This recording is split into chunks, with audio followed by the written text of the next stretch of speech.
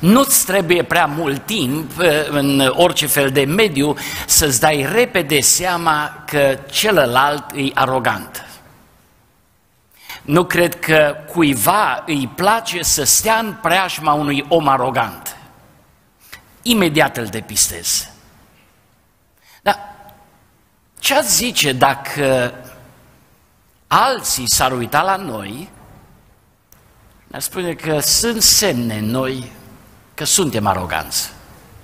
O să vă dau câteva criterii care să ne ajute să depistăm aroganța din noi. De exemplu, v-ați gândit că cel care constant nu-i punctual la o întâlnire, comunică că timpul și agenda lui e mai importantă decât a celorlalți. Sau cel care are tendința mereu să întrerupă pe ceilalți pentru că au ei ceva de spus, fără să-și dea seama, comunică un alt lucru. Ce spun eu e mai important decât ce vrei tu să spui. Dacă vreodată cineva îl confruntă pe un astfel de om și îi spune ai greșit, cel mai mare lucru pe care poți să-l scoți de la el este poate. Hm. Sunt alții care preferă să facă ei lucrurile decât să dea voie celorlalți să le facă poate pentru un moment mai puțin bine, pentru că las că știu eu. Și întotdeauna ei vor să facă. Mai mult, oamenii care au tendința să fie aroganți sunt oameni care agrează să-i vadă pe toți la picioarele lui. Dragii mei, niciunul din noi nu suntem imuni la aroganță. Poate că n-ai o aroganță care să fie izvorâtă din temperamentul tău, dar din firea ta veche cu siguranță.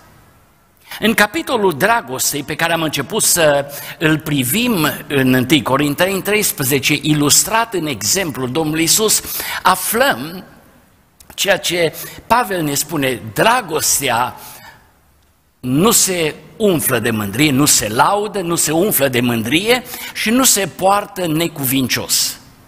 Vedeți, ceea ce au în, în, în comun aceste trei elemente, aceste trei trăsături ale dragostei, este că fiecare din ele ne arată un mod greșit de a te raporta la realizările tale.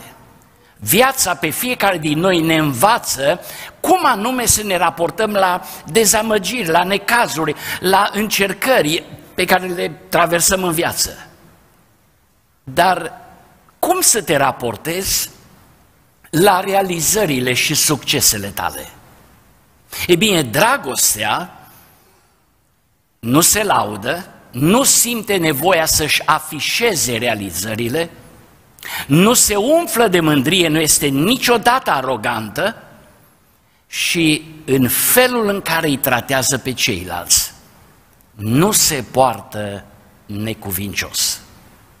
În seara aceasta ne vom uita într-un exemplu în Scriptură și sigur că și din cântare și din poezie Vă dați seama că e vorba de Ioan 13. Haideți să ne ridicăm, cinstim în felul acesta citirea cuvântului lui Dumnezeu, ne apropiem cu o inimă deschisă de cuvânt și citim cuvântul lui Dumnezeu în Ioan, capitolul 13.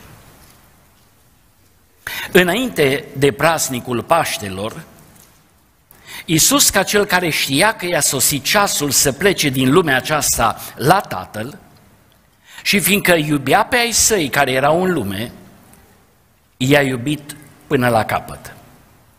În timpul cinei, după ce diavolul pusese în inima lui Iuda Iscarioteanul fiului Simon gândul să vină, să-l vândă, Iisus, fiindcă știa că tatăl îi dăduse toate lucrurile în mâini, că de la Dumnezeu a venit și la Dumnezeu se duce, s-a sculat de la masă, s-a dezbrăcat de hainele lui, a luat un ștergar și s-a încins cu el. Apoi a turnat apă într-un lighean și a început să spele picioarele ucenicilor și să le șteargă cu ștergarul cu care era încins. A venit deci la Simon Petru și Petru i-a zis, Doamne, Tu să-mi speli mie picioarele? Drept răspuns Iisus i-a zis, Ce fac eu, tu nu pricepi acum, dar vei pricepe după aceea. Petru i-a zis, niciodată nu vei spăla picioarele. Iisus i-a răspuns, dacă nu te spăl eu, nu vei avea parte deloc cu mine. Doamne, i-a zis Simon Petru, nu numai picioarele, dar și mâinile și capul. Iisus i-a zis, cine s-a scăldat, n-are trebuință să spele decât picioarele, ca să fie curat de tot.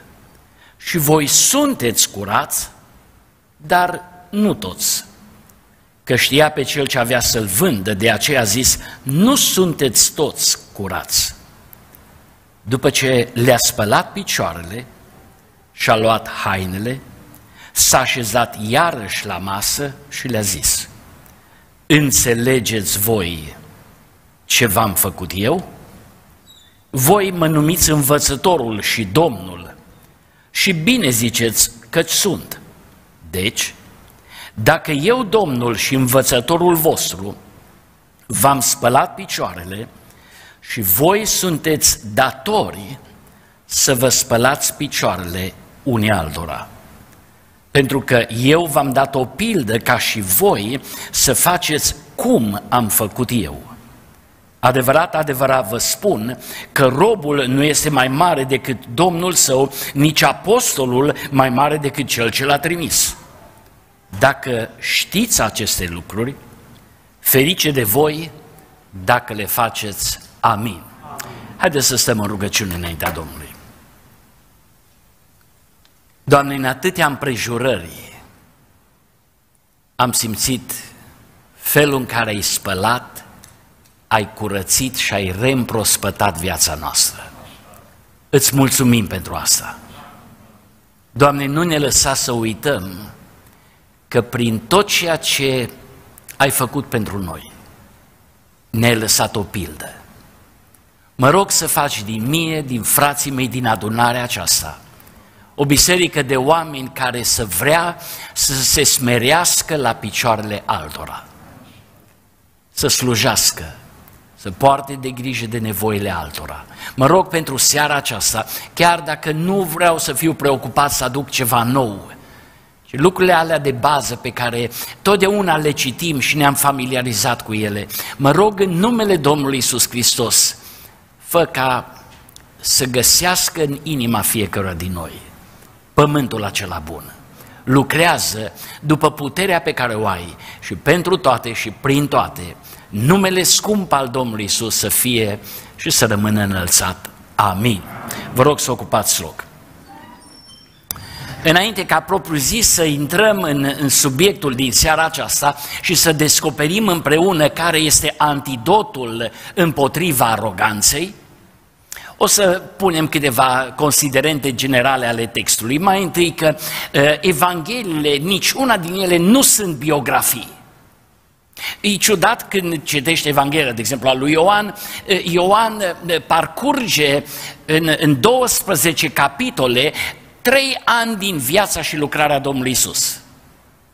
Iar de la capitolul 13, practic, Ioan condensează atâta învățătură și parcurge o săptămână din viața Domnului Isus. Nici o biografie n-ar face lucrul acesta. Evangheliile sunt altceva, e un mod de a-L prezenta pe Hristos. Apoi, când ne uităm de la capitolul 13, avem acest discurs pe care teologii îl numesc discursul din odaia de sus. Noi suntem mai familiarizați, de exemplu, cu predica de pe munte, nu prea numim pasajul acesta predica din odaia de sus. Mai întâi pentru că era o predică cam lungă și oamenilor nu le plac predicile lungi. E interesant un alt lucru.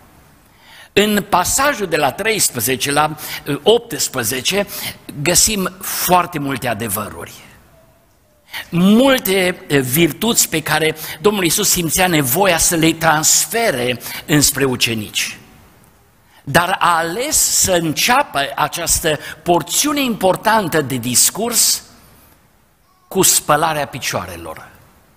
Nu doar ca să împlinească un simplu ritual, ci ca să înveți o lecție, lecția smereniei. Cineva spunea că smerenia este virtutea din care izvorăsc toate celelalte virtuți. E solul din care izvorăsc celelalte virtuți. Și când n-ai temelia asta, nu poți zidi pe nimic. Așa că în seara aceasta ne vom uita la acest pasaj, înțelegând că antidotul împotriva aroganței este smerenia izvorâtă din dragoste. Antidotul împotriva aroganței este smerenia izvorâtă din dragoste. Câteva lucruri pe care vreau să le redescoperim în pasajul acesta. Mai întâi, siguranța noastră în Hristos este cea care motivează și ne motivează la smerenie. Siguranța noastră în Hristos e cea care ne motivează smerenia. Pasajul începe cu o descriere cristologică a tot ceea ce era Domnul Isus. Și e foarte interesant să observăm că la temelia gestului său de a se dezbrăca, de a lua ștergarul, de a spăla picioarele ucenicilor, stă un verb. Isus, fiindcă, spuneți noastră, fiindcă știa. Dragii mei, e fundamental să înțelegem ceea ce ne motivează. Dumnezeu niciodată nu este interesat de o acțiune dacă nu-i motivația corectă. Domnul Isus își deschide inima și lasă să se vadă ce anume știa El cu privire la sine și ce anume l-a motivat la smerenie. Nu o să parcurgem pasajul acesta, deși în esență este unul cristologic, dacă vreți, strânge întreaga lucrare a Domnului Isus Hristos din veșnicie până la întoarcerea în veșnicie. E suficient să resubliniem verbele și veți descoperi că în puține cuvinte ai întreg parcursul Domnului Isus de la a părăsit slava, s-a dezbrăcat de slavă, a luat chip de rob, a luat ștergarul, a slujit ca nimeni altul și când și-a încheiat slujirea, Scriptura ne spune, s-a așezat din nou la masă. Dar în seara aceasta vreau să observăm că lucrurile pe care fiul le știa, și de care era absolut sigur, sunt lucruri care sunt și la îndemâna noastră.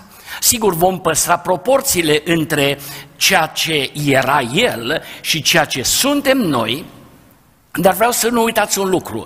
Ceea ce știa Fiul cu privire la El e un indiciu pentru fiecare din noi care ar trebui să știm mai întâi care e originea noastră, Domnul Iisus spune că de la Dumnezeu vine, în al doilea rând, că de la, la Dumnezeu se întoarce și al treilea adevăr, că Tatăl îi dăduse toate lucrurile în mâini. Dragii mei, de plină siguranță a Fiului a fost cea care l-a motivat la smerenie. Isus, ca unul care știa că vine de la Dumnezeu și Ioan este încă o dată atent să arate dumnezeirea lui Hristos care vine. Dar existența lui e dinainte de veșnicii. El nu vine din Betleem, el vine din veșnicie, el intră în lume. Dar cum stau lucrurile cu noi? Dragii mei, și noi am avut parte și avem parte de o naștere de sus. Noi avem parte de nașterea din natura lui Dumnezeu. Decizia noastră de a ne deschide pentru El l-a, l-a, l-a făcut pe Dumnezeu să pună în noi sămânță din sămânța Lui. O, dacă am avea această cunoaștere a adevăratei noastre naturi. Da, suntem răi, avem pornirile noastre firești, dar când a început Hristos în noi o bună lucrare, ce a însemnat asta? E nașterea din nou. Și într-un sens, în noi, Dumnezeu a pus natură din natura Lui. În al doilea rând, Domnul Iisus știa nu doar că vine de la Tatăl, era își cunoștea natura divină, în al doilea rând știa că de la, la Dumnezeu se întoarce. Frați și surori, nu suntem noi oare siguri că noi traversăm această lume?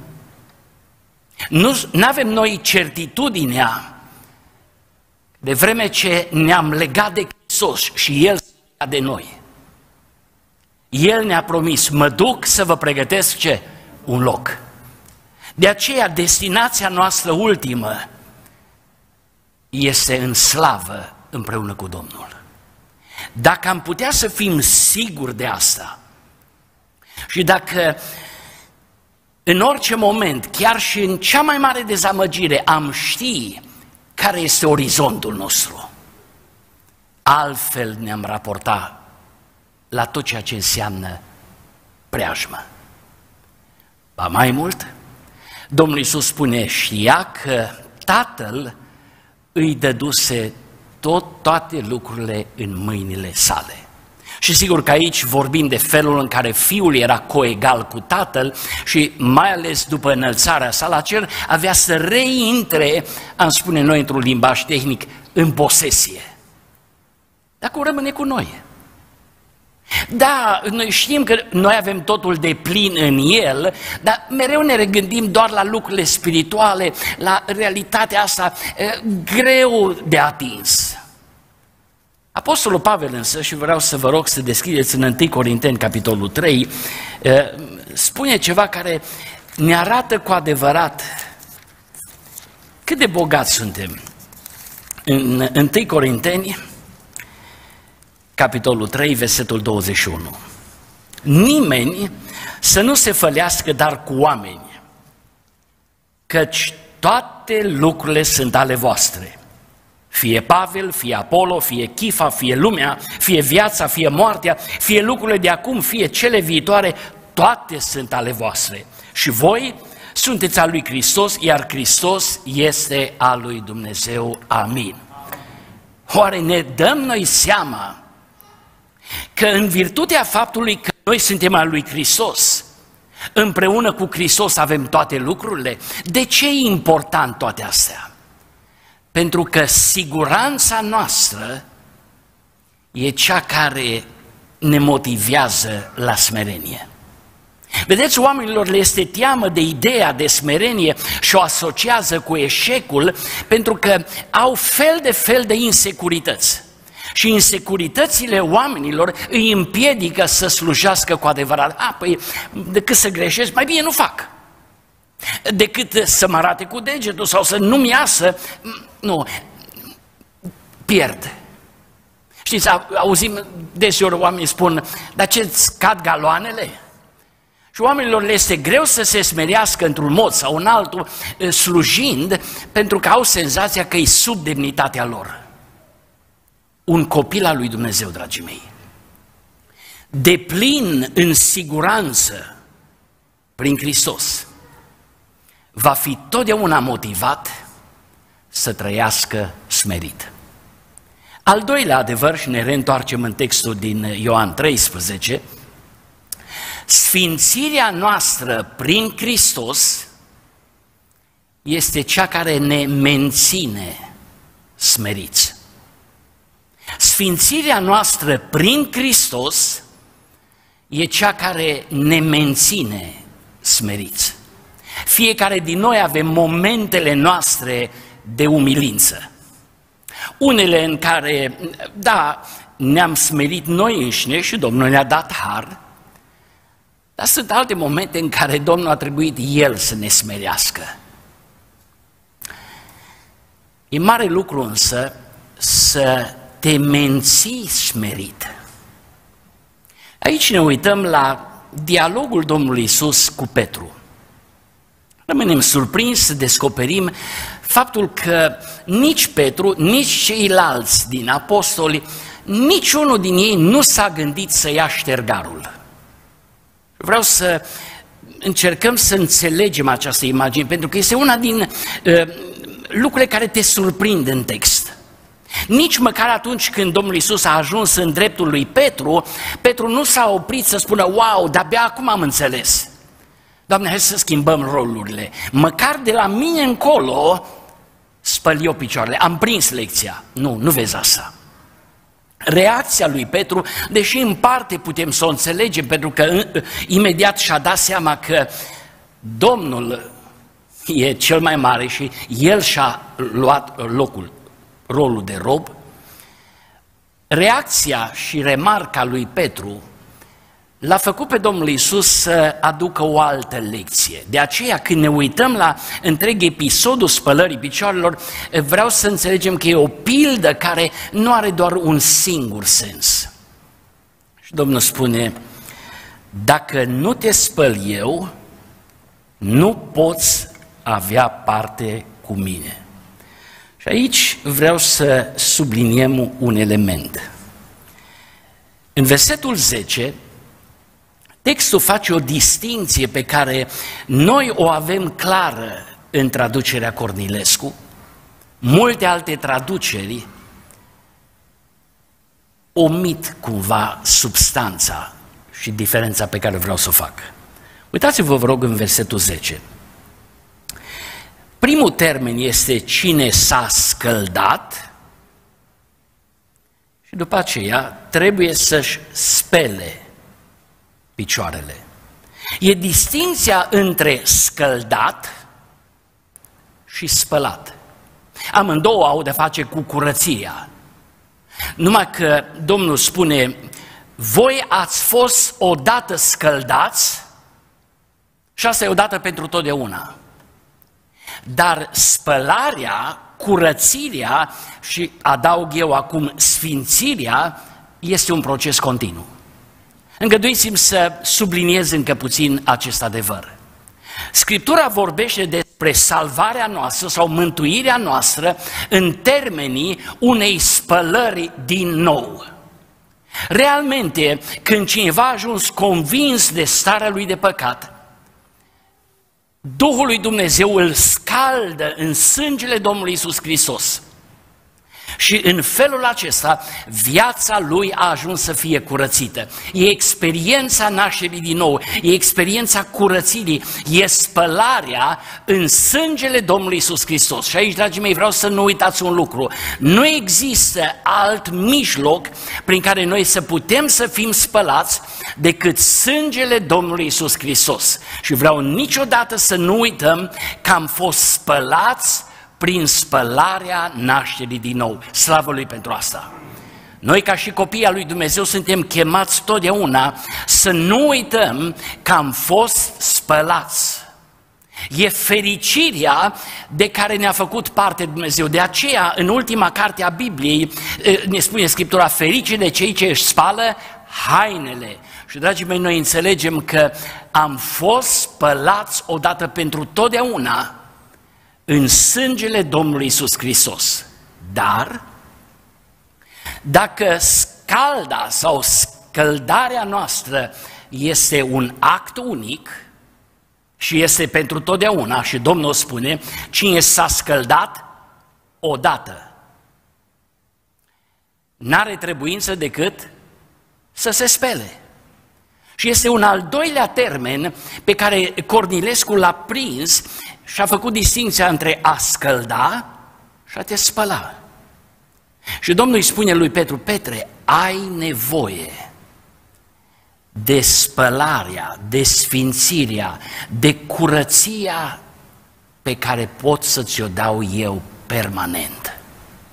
Vedeți, Petru era tentat să meargă dintr-o extremă în alta, să spună, Doamne, mai spală-mă odată. Nu, nu, nu, te-ai scăldat odată, ai ajuns copil al lui Dumnezeu, ești copil al lui Dumnezeu.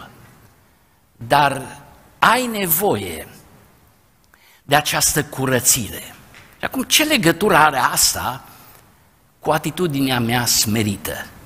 În ce fel sfințirea prin Hristos mă menține smerit?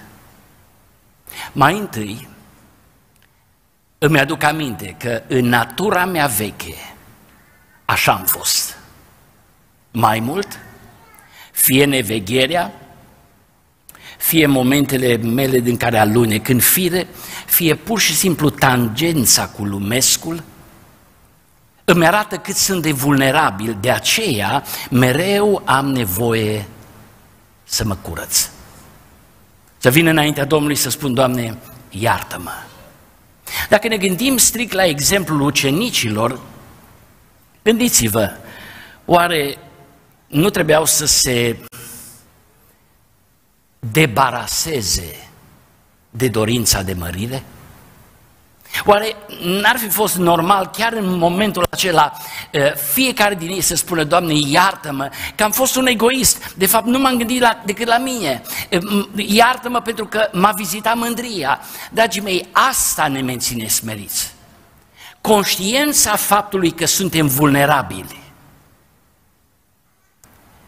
Conștiința faptului că noi înșine putem să cădem în exact lucrurile pe care le arătăm cu degetul în viața altora. Asta te menține smerit. Și Domnul trebuia să-i sublinieze acest adevăr lui Petru. Și trebuie să mi-l sublinieze mie, pentru că întotdeauna trebuie să te menții smerit. Când vezi că altul greșește, nu te grăbi să spui, eu n-aș fi putut să fac asta. Ci, exact cum spune Scriptura, cine crede că stă în picioare, să ia seama. Dragii mei, fiecare din noi suntem vulnerabili. Și din pricina aceasta trebuie să te bucuri, dar trebuie să te bucuri tremurând. Și vreau să observați că această lucrare de sfințire e cea care ne menține pe fiecare din noi smeriți. Dacă nu învățăm lucrul ăsta și nu ne smerim noi, să știți că știe Dumnezeu când să ne smerească. O să vă dau exemplul lui Ezechia, un împărat bun, Scriptura ne vorbește mai multe rânduri despre el. În Isaia 38 ai această frământare în care Dumnezeu a trebuit să-l cerceteze și a trimis o boală în viața lui. Și e limpede că boala n-a fost o simplă încercare, ci a fost un semnal de alarmă, așa încât Ezechia a înțeles și spune, voi umbla smerit. E spre binele meu că mai smerit. Și, dragii mei, adeseori Dumnezeu ne lasă în astfel de situații. Aplică pedagogia Lui ca să ne smerească. Dar Ezechia spune, voi umbla smerit pentru tot restul vieții noastre. Știți că am observat oameni pe care Dumnezeu i-a smerit dar care n-au reușit să înțeleagă că ei trebuie să umble smeriți pentru tot restul vieții. Petru trebuia să înțeleagă că scăldarea e o singură dată, dar spălarea e permanentă. Al treilea adevăr.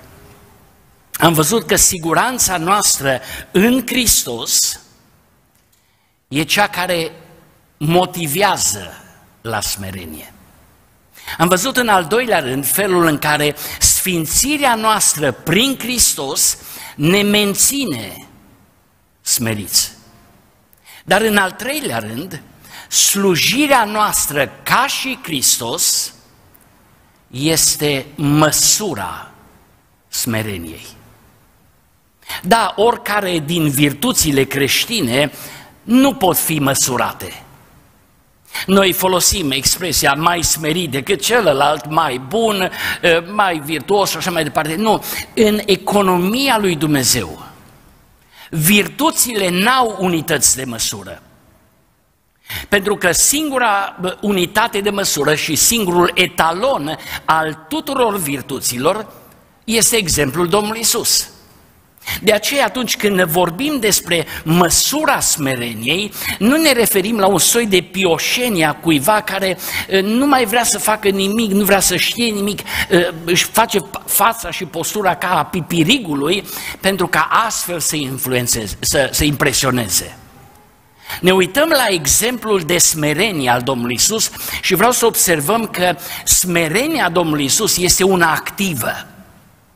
Uitați în narațiunea textului toate verbele care sunt în dreptul Domnului Isus și care îi arată smerenia. Smerenia este o acțiune a dragostei. Și sigur că pasajul acesta ne, ne face pe fiecare din noi să ne întrebăm dar ce înseamnă și ce ar însemna efectiv eu să spăl picioarele altora? Sigur, unele biserici au luat această practică.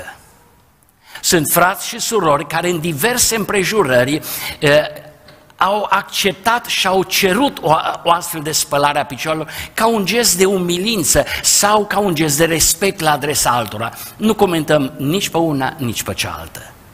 Domnul Iisus ne spune cuvântul că după ce a încheiat acest gest, spune, înțelegeți voi ce v-am făcut eu?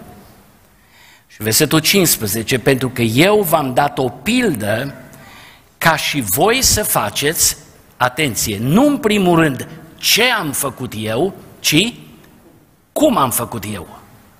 Îngăduiți-mi câteva observații legate de slujirea Domnului Isus, care ar trebui să fie și pentru noi o măsură. Mai întâi, Domnul Isus i-a slujit pe ucenici în ceea ce am spune noi cel mai nepotrivit moment din viața lui. Noi citim înainte de praznicul Paștelor. Și dacă mm, citești superficial, spui, a, e o indicație cronologică. Da, pentru toți ceilalți, pentru evrei, sigur. Dar pentru Domnul Isus era praznicul în care El va fi mielul de jerfă. Rog să-mi spuneți, N-ar fi fost mult mai normal, mai logic, ca în acest moment extrem de dificil din viața lui, Domnul Iisus să spună, aștepți voi să mă slujiți. E cel mai dificil moment din viața mea. Și cineva care îi în preajmă ar fi trebuit să spună, ce pot să fac pentru tine? în cel mai nepotrivit moment al vieții lui, a ales să slujească. Dragii mei, fiecare din noi avem momente când am vrea să fim lăsați în pace. Vii acasă de la serviciu obosit. Păi am și eu dreptul puțin la liniște. Dacă vrei să fii smerit, nu te uita la nevoile tale, ci chiar dacă e momentul nepotrivit, ia atitudinea de slujire.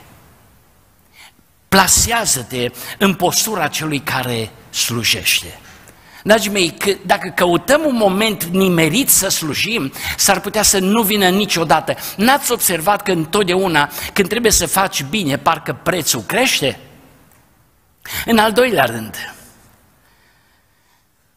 Domnul Iisus a ales să facă bine și să-i slujească pe cei care meritau cel mai puțin.